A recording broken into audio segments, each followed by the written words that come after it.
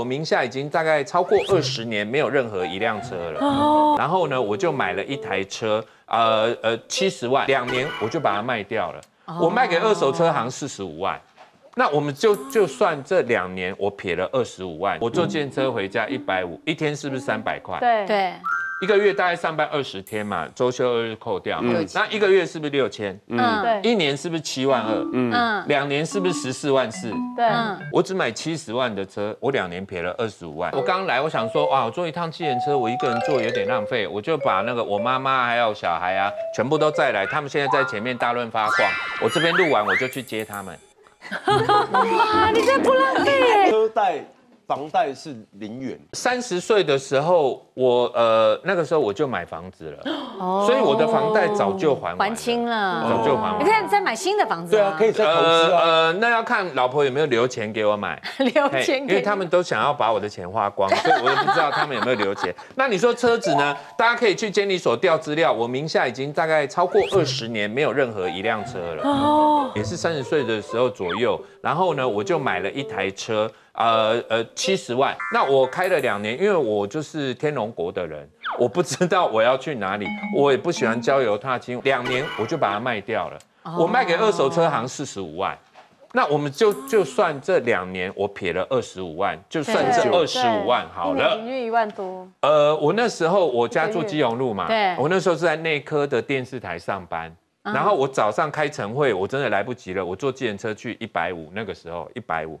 那下班了，好多人挤公车，你也知道内内科那边公车那个就哦每天都在塞车我真的我也不想挤公车，我坐计程车回家一百五，一天是不是三百块？对。对，一个月大概上班二十天嘛，周休二日扣掉那一个月是不是六千？嗯对一年是不是七万二？嗯两年是不是十四万四？对，嗯，我只买七十万的车，我两年赔了二十五万。我每天早晚我都坐计程车哦。够司机，够司机啊，那我一上车，他还说：“哎，老板，请问要去哪里？”他叫我叫你老板，对，他可能有的服务好的还帮我开车门，后面还可以划手机办事，对不用自己开车。对，然后他绕路我还骂他，这样子，这样子，两年我也才花十四万四。很划算你不要再说下去，你再说下去，我回家要卖车。哦，那那你们现在，那你你们又要问了，说啊，你现在结婚有小孩哎，对，哎，我正要问，礼拜六、礼拜天总要出去了嘛？好，那就举例，比如说我今天要去力宝乐园啊，在台中嘛，对不对对？好，那我就坐高铁坐到台中嘛，